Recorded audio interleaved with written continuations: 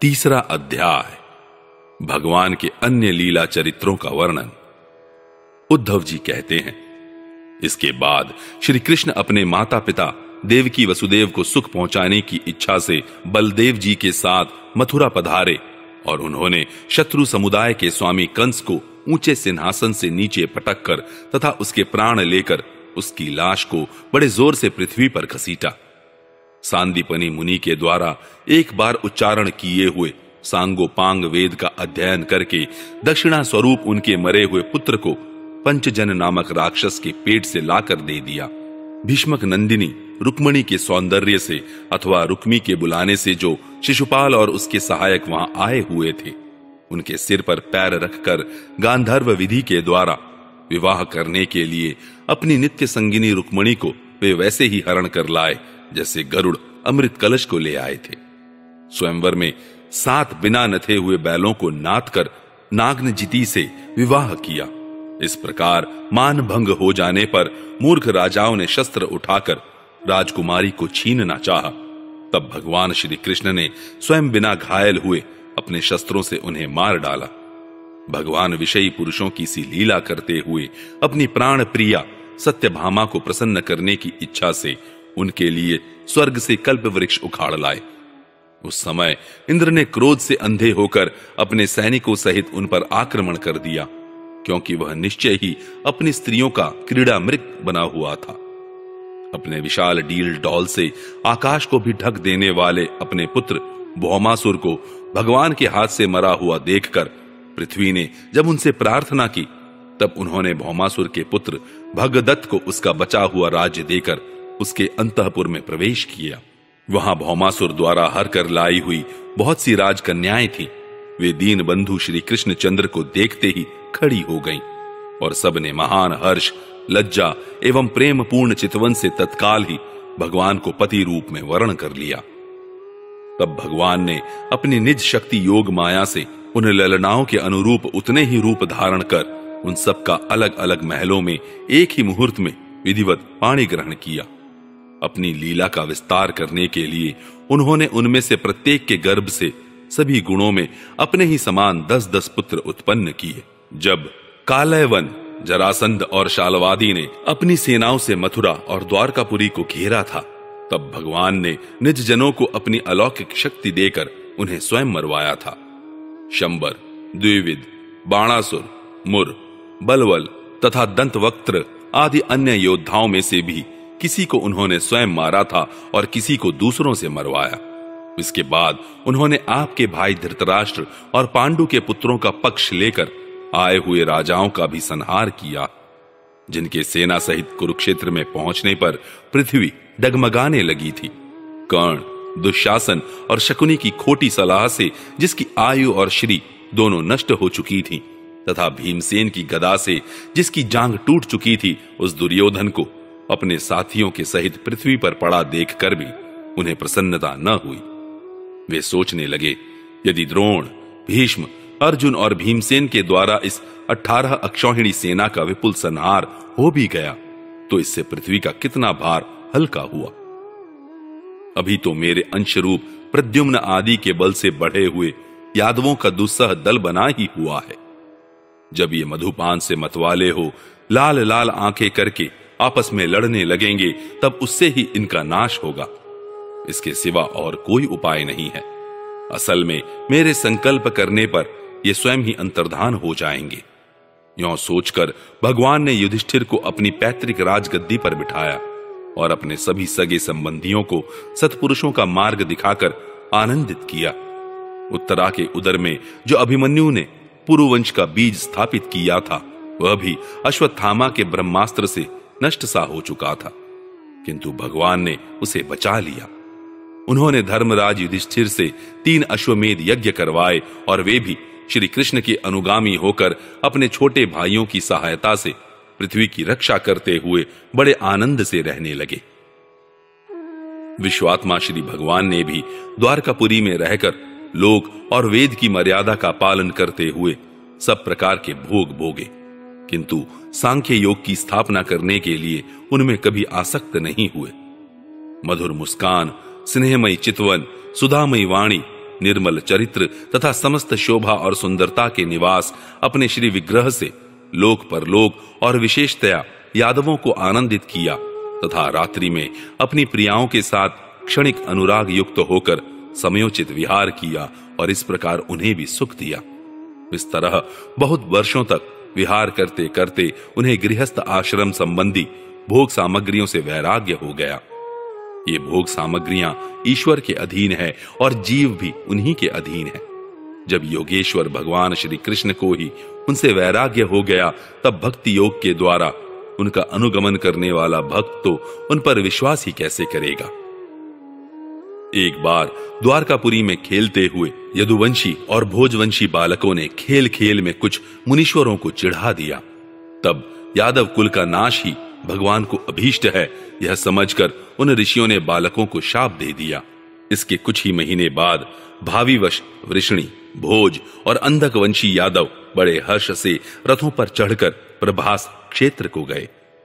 वहाँ स्नान करके उन्होंने उस तीर्थ के जल से पितर देवता और ऋषियों का तर्पण किया तथा ब्राह्मणों को श्रेष्ठ गौएँ दी। उन्होंने सोना, चांदी, शैया, वस्त्र, मृगचर्म, कंबल, पालकी, रथ, हाथी, कन्याएँ और ऐसी भूमि जिससे जीविका चल सके तथा नाना प्रकार के सरस अन्न भी भगवद अर्पण करके ब्राह्मणों को दिए। इसके पश्चात गौ और ब्राह्मणों के लिए ही प्राण धारण करने वाले उन वीरों ने पृथ्वी पर सिर टेक कर उन्हें प्रणाम किया। चौथा अध्याय। उद्धव जी से विदा होकर विदुर जी का मैत्रेय ऋषि के पास जाना। उद्धव जी ने कहा, फिर ब्राह्मणों की आज्ञा पाकर यादवों ने भोजन किया और वारुणी मदिरा पी। उससे उनका ज्ञान नष्ट हो गया और वे दुर्वचनों से एक दूसरे के हृदय को चोट पहुँचाने लगे। मदिरा के नशे से उनकी बुद्धि बिगड़ गई और जैसे आपस की रगड़ में बांसों में आग लग जाती है, उसी प्रकार सूर्यास्त होते होते उनमें मार काट होने लगी। भगवान अपनी माया की उस विचित्र गति को देखकर सरस्वती के जल से आचमन करके एक वृक्ष के नीचे बैठ गए। इससे पहले ही शरणागतों का दुख दूर करने वाले भगवान श्री कृष्ण ने अपने कुल का संहार करने की इच्छा होने पर मुझसे कह दिया कि तुम बद्रिकाश्रम चले जाओ। विदुर जी, इससे यद्यपि मैं उनका आशय समझ गया था तो भी स्वामी के चरणों का वियोग न सह सकने के कारण मैं उनके पीछे पीछे प्रभास क्षेत्र में पहुँच गया। वहाँ मैंने देखा कि जो सबके आश्रय हैं, किंतु जिनका कोई और आश्रय नहीं है, वे प्रियतम प्रभु शोभा धाम श्याम सुंदर सरस्वती के तट पर अकेले ही बैठे हैं। दिव्य विशुद्ध सत्वमय अत्यंत सुंदर श्याम शरीर है। शांति से भरी रत्नारी आँखें हैं। उनकी चार भुजाएँ और रेशमी पीतांबर देखकर मैंने उनको दूर से ही पहचान लिया। वे एक पीपल के छोटे से वृक्ष का सहारा लिए बाई जांग पर दाया चरण कमल रखे बैठे थे। भोजन पान का त्याग कर देने पर भी वे आनंद से प्रफुल्लित हो रहे थे। इसी समय व्यास जी के प्रिय मित्र परम भागवत सिद्ध मैत्रेय जी लोकों में स्वच्छंद विचरते हुए वहाँ आ पहुँचे। मैत्रेय मुनि भगवान के अनुरागी भक्त हैं। आनंद और भक्ति भाव से उनकी गर्दन झुक रही थी। उनके सामने ही श्रीहरि ने प्रेम एवं मुस्कान युक्त चितवन से मुझे आनंदित करते हुए कहा। श्री भगवान कहने लगे, मैं तुम्हारी आंतरिक अभिलाषा जानता हूँ, इसलिए मैं तुम्हें वह साधन देता हूँ जो दूसरों के लिए अत्यंत दुर्लभ है। उद्धव, तुम पूर्व जन्म में वसु थे।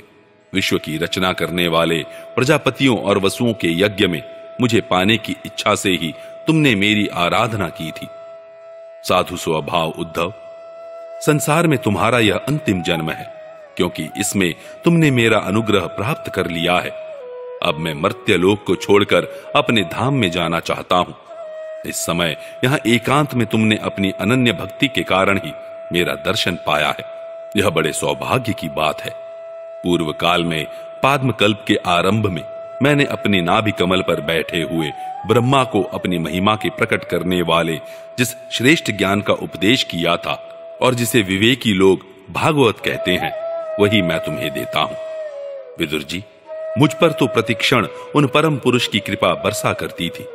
इस समय उनके इस प्रकार आदर पूर्वक कहने से स्नेहवश मुझे रोमांच हो आया। मेरी वाणी गदगद हो गई और नेत्रों से आंसुओं की धारा बहने लगी। उस समय मैंने हाथ जोड़कर उनसे कहा, स्वामिन, आपके चरण कमलों की सेवा करने वाले पुरुषों को इस संसार में अर्थ, धर्म, काम, मोक्ष, इन चारों में से कोई भी पदार्थ दुर्लभ नहीं है। तथापि मुझे उनमें से किसी की इच्छा नहीं है। मैं तो केवल आपके चरण कमलों की सेवा के लिए ही लालायित रहता हूँ। प्रभु आप निष्प्रिय होकर भी कर्म करते हैं, अजन्मा होकर भी जन्म लेते हैं काल रूप होकर भी शत्रु के डर से भागते हैं और द्वारका के किले में जाकर छिपे रहते हैं। तथा स्वात्मा राम होकर भी सोलह हज़ार स्त्रियों के साथ रमण करते हैं। इन विचित्र चरित्रों को देखकर विद्वानों की बुद्धि भी चक्कर में पड़ जाती है। देव, आपका स्वरूप ज्ञान सर्वथा अबाध और अखंड है। फिर भी आप सलाह लेने के लिए मुझे बुलाकर, जो भोले मनुष्यों की तरह बड़ी सावधानी से मेरी सम्मति पूछा करते थे। प्रभु, आपकी वह लीला मेरे मन को मोहित सा कर देती है। स्वामिन, अपने स्वरूप का गूढ़ रहस्य प्रकट करने वाला, जो श्रेष्ठ एवं समग्र ज्ञान आपने ब्रह्मा जी को बतलाया था, वह यदि मेरे समझने योग्य हो तो मुझे भी सुनाइए, जिससे मैं भी इस संसार दुख को सुगमता से पार कर जाऊँ। जब मैंने इस प्रकार अपने हृदय का भाव निवेदित किया, तब परम पुरुष कमल नयन भगवान श्री कृष्ण ने मुझे अपने स्वरूप की परम स्थिति का उपदेश दिया। इस प्रकार पूज्यपाद गुरु श्री कृष्ण से आत्म तत्व की उपलब्धि का साधन सुनकर तथा उन प्रभु के चरणों की वंदना और परिक्रमा करके मैं यहाँ आया हूँ। इस समय उनके विरह से मेरा चित्त अत्यंत व्याकुल हो रहा है। विदुर जी, पहले तो उनके दर्शन पाकर मुझे आनंद हुआ था। किंतु अब तो मेरे हृदय को उनकी विरह व्यथा अत्यंत पीड़ित कर रही है। अब मैं उनके प्रिय क्षेत्र बद्रिकाश्रम को जा रहा हूँ, जहाँ भगवान श्री नारायण देव और नर, ये दोनों ऋषि लोगों पर अनुग्रह करने के लिए दीर्घकालीन सौम्य, दूसरों को सुख पहुँचाने वाली एवं कठिन तपस्या कर रहे हैं। श्री सुखदेव जी कहते हैं, इस प्रकार उद्धव जी के मुख से अपने प्रिय बंधुओं के विनाश का असह्य समाचार सुनकर परम ज्ञानी विदुर जी को जो शोक उत्पन्न हुआ, उसे उन्होंने ज्ञान द्वारा शांत कर दिया। जब भगवान श्री कृष्ण के परिकरों में प्रधान महाभागवत उद्धव जी बद्रिकाश्रम की ओर जाने लगे, तब कुरुश्रेष्ठ विदुर जी ने श्रद्धा पूर्वक उनसे पूछा। विदुर जी ने कहा, उद्धव जी, योगेश्वर भगवान श्री कृष्ण ने अपने स्वरूप के गूढ़ रहस्य को प्रकट करने वाला जो परम ज्ञान आपसे कहा था वह आप हमें भी सुनाइए, क्योंकि भगवान के सेवक तो अपने सेवकों का कार्य सिद्ध करने के लिए ही विचरा करते हैं। उद्धव जी ने कहा, उस तत्व ज्ञान के लिए आपको मुनिवर मैत्रेय जी की सेवा करनी चाहिए। इस मर्त्य लोक को छोड़ते समय मेरे सामने स्वयं भगवान ने ही आपको उपदेश करने के लिए उन्हें आज्ञा दी थी। श्री सुखदेव जी कहते हैं इस प्रकार विदुर जी के साथ विश्वमूर्ति भगवान श्री कृष्ण के गुणों की चर्चा होने से उस कथामृत के द्वारा उद्धव जी का वियोग जनित महान ताप शांत हो गया। यमुना जी के तीर पर उनकी वह रात्रि एक क्षण के समान बीत गई। फिर प्रातः काल होते ही वे वहाँ से चल दिए। राजा परीक्षित ने पूछा, भगवान वृषणी कुल और भोजवंश के सभी रथी और यूथपतियों के भी यूथपति नष्ट हो गए थे। यहाँ तक कि त्रिलोकी नाथ श्री हरि को भी अपना वह रूप छोड़ना पड़ा था। फिर उन सब के मुखिया उद्धव जी ही कैसे बच रहे? श्री सुखदेव जी ने कहा, जिनकी इच्छा कभी व्यर्थ नहीं होती, उन श्रीहरि ने ब्राह्मणों के शाप रूप काल के बहाने अपने कुल का संहार कर अपने श्री विग्रह को त्यागते समय विचार किया। अब इस लोक से मेरे चले जाने पर संयमी शिरोमणि उद्धव ही मेरे ज्ञान को ग्रहण करने के सच्चे अधिकारी हैं। उद्धव मुझसे अणुमात्र भी कम नहीं है, क्योंकि वे आत्मजयी हैं। विषयों से कभी विचलित नहीं हुए, अतः लोगों को मेरे ज्ञान की शिक्षा देते हुए वे यहीं रहे। वेदों के मूल कारण जगत गुरु श्री कृष्ण के इस प्रकार आज्ञा देने पर उद्धव जी बद्रिकाश्रम में जाकर समाधि योग द्वारा श्री हरि की आराधना करने लगे। कुरुश्रेष्ठ परीक्षित परमात्मा श्री कृष्ण ने लीला से ही अपना श्री विग्रह प्रकट किया था और लीला से ही उसे अंतर्धान भी कर दिया। उनका वह अंतर्धान होना भी धीर पुरुषों का उत्साह बढ़ाने वाला तथा दूसरे पशुतुल्य अधीर पुरुषों के लिए अत्यंत दुष्कर था। परम भागवत उद्धव जी के मुख से उनके प्रशंसनीय कर्म और इस प्रकार अंतर्धान होने का समाचार पाकर तथा यह जानकर कि भगवान ने परम धाम जाते समय मुझे भी स्मरण किया था। विदुर जी उद्धव जी के चले जाने पर प्रेम से विहवल होकर रोने लगे। इसके पश्चात सिद्ध शिरोमणि विदुर जी यमुना तट से चलकर कुछ दिनों में गंगा जी के किनारे जा पहुँचे, जहाँ श्री मैत्रेय जी रहते थे।